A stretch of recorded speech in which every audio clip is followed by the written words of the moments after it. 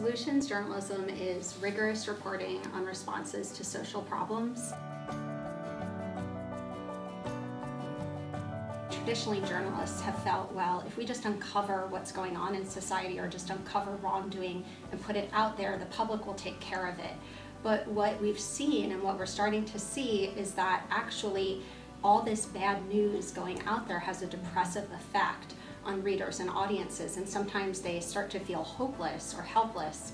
And if you can work some solution stories into the mix that will allow them um, to see what what's possible what might be done you know, one thing that I found here at the School of Journalism, our students are very dedicated, they're very hardworking.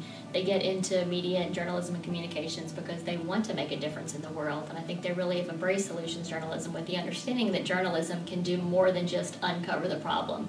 Journalism can also report on credible solutions or credible potential solutions to the problem.